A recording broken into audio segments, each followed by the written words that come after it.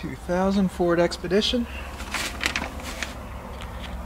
119,000 miles.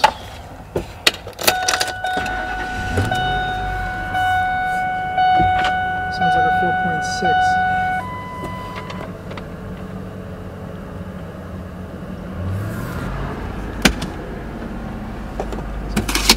It's a six disc with its magazine, its papers. There's the rear AC with overhead console, climate control. Forgive me for being a bit warm, I mean cold.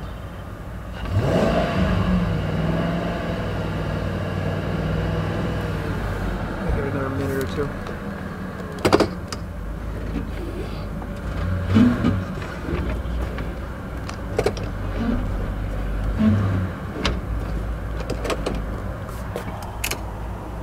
AC works.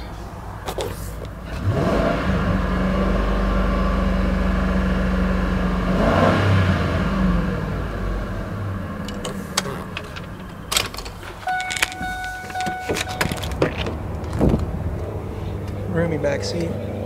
Its cup holders down here, radio controls with headphones. Its third seat.